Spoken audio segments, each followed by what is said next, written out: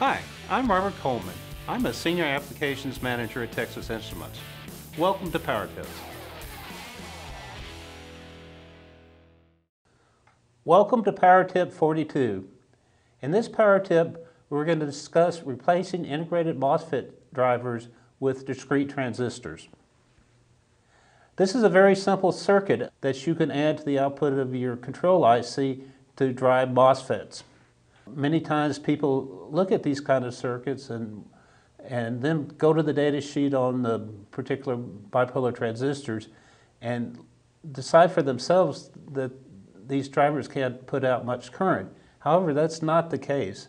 In this picture here on the right, we're showing the drive current that we got out of this particular driver driving into a 0.01 microfarad capacitor. The vertical dimensions are 2 amps per division. And so in this case, when we had a positive uh, drive current coming out of the driver, we were able to drive over 2 amps. And in the negative going case, we, we were right at 2 amps.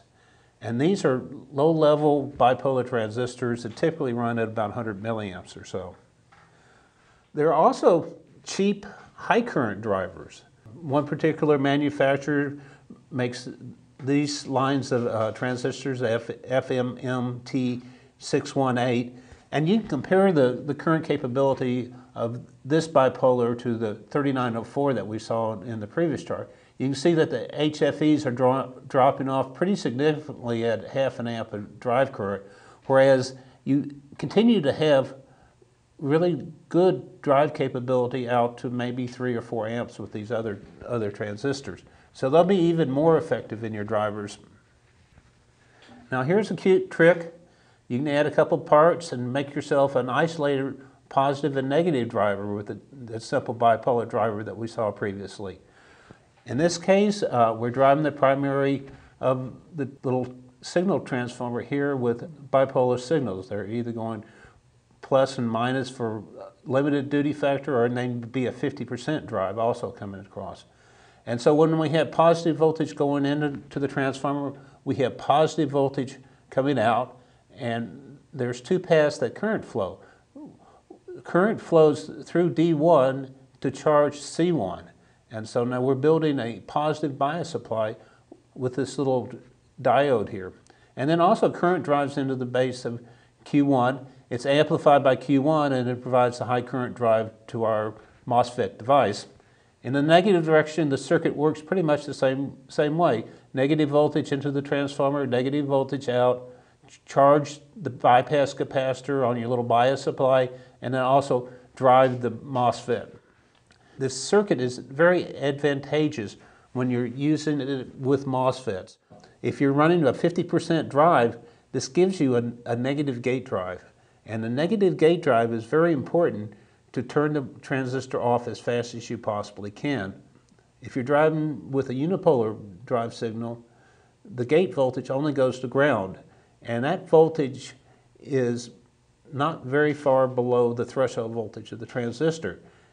And so you have a long time to discharge the distributed gate resistance in the MOSFET device, and that slows turn off significantly. With a negative gate drive, you can have 10 or 15 volts reverse bias on the distributed resistance of the MOSFET device and get the MOSFET off very quickly. Now, here are a couple more circuits that make use of very simple bipolar drivers. This particular one, we have a control turn on of, of this MOSFET. And so this particular circuit is a synchronous flyback. And the way the circuit works when we have positive voltage on these two windings, we have positive voltage here, and then we have positive voltage here. Current flows through D1, R1 into the gate of Q2, and that turns Q2 on, and that allows us to reduce the voltage from the body diode drop to a voltage as low as a tenth of a volt, and that saves a significant amount of losses in the, in the MOSFET device. And when we go low, we have a very fast turnoff on the transistor also. We have a negative voltage across R2 into the base of Q1, and that discharges the gate, the source capacitance of Q2 very quickly. We also have a, a speed up capacitor in, in C1 that increases the turn on speed of Q1. And then finally, since we will reverse the voltage on C1 during the negative cycle, we have to protect the base emitter junction of Q1 during the turn on. And so we've added this diode D2 to allow only 6 tenths of a volt reverse bias voltage across the base emitter of Q1. Sometimes you have a requirement where you have a very wide input voltage range and you want to drive your synchronous rectifiers off your transformer windings again.